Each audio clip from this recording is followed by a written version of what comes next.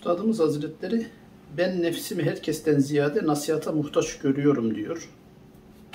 Öyle bir anlayışın güzelliğini Cenab-ı Hak her birerlerimize nasip eylesin inşallah. Bu bence muhteşem bir idrak. Herkesten ziyade nasihata muhtaç olduğunu vicdanen düşünmek. Bir evvelki derste de bahsetmiştik. Herkesin her zaman nasihata ihtiyacı vardır. İngilizce bilmeyenin İngilizce konusunda, bilgisayar bilmeyenin bilgisayar konusunda nasihata ihtiyacı olabilir.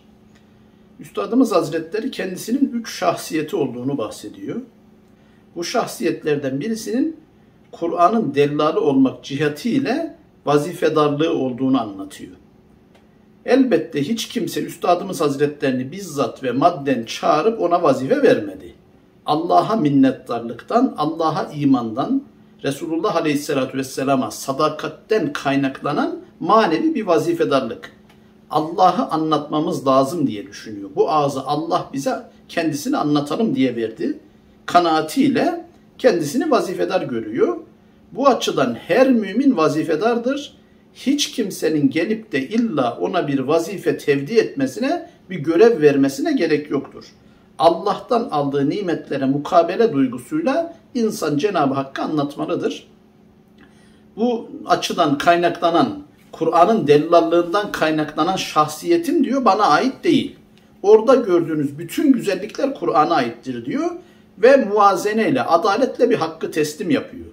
Bugün bizler Üstadımız Hazretlerini neden bu kadar seviyoruz? Hoca Efendi'yi neden bu kadar seviyoruz? Allah böyle anlatılır kanaatinde olduğumuz için. Ben 75 bayram vaazını Hoca Efendi'nin dinlediğimde Hoca Efendi'yi tanımıştım ve büyülenmiştim. İşte Allah böyle sevilir, işte Allah böyle anlatılır diye düşünmüştüm. Elbette oradaki güzelliğin bütünü Allah'a aitti. Kendisinden bahsetseydi, soyundan, sülalesinden bahsetseydi hiçbirerlerimiz öyle sevmeyecektik. Üstadımız Hazretleri de diyor ki, benim vazifemden kaynaklanan, Kur'an'ın dellallığı vazifesinden kaynaklanan bir görünüşüm var. Oradaki gördüğünüz her şey Kur'an'a aittir. Güzellikler Kur'an'a ait. Gördüğünüz bir eksiklik ve kusur varsa onlar benim şahsıma aittir diyor. İkinci şahsiyetini Üstadımız Hazretleri kulluğu olarak anlatıyor. Allah'a ibadeti açısından meseleye bakıyor ve bu açıdan kim bana ne derse desin benim güzel olduğuma beni inandıramaz diyor.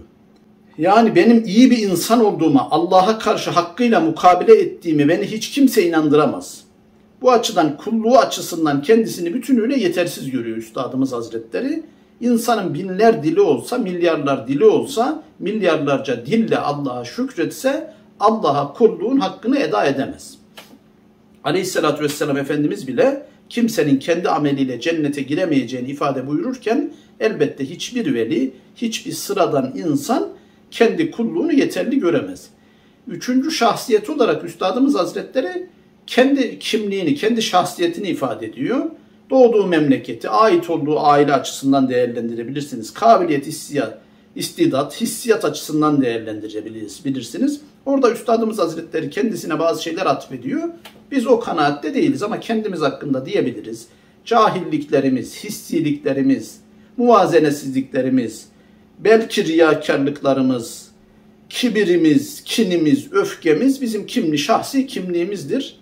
Şahsi kimliğimizle vazifemiz arasındaki, vazifeden gelen kimliğimiz arasında uçurumlar oluyor. Bediüzzaman Hazretleri gibi, Hoca Efendi gibi Hazretlerin şah, bu üç şahsiyeti arasında böyle büyük boşluk görmüyoruz. Ama insaniyetten kaynaklanan hususiyetler herkeste olabilir.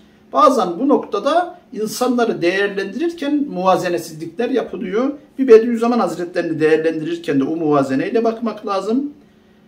Tarihteki herhangi bir şahsiyeti değerlendirirken de öyle bir muvazeneyle bakmak lazım. Herhangi bir kardeşimizi, arkadaşımızı değerlendirirken de öyle bir muvazeneyle bakmak lazım. Hakikatsizlik, adaletsizlik yapmamak lazım.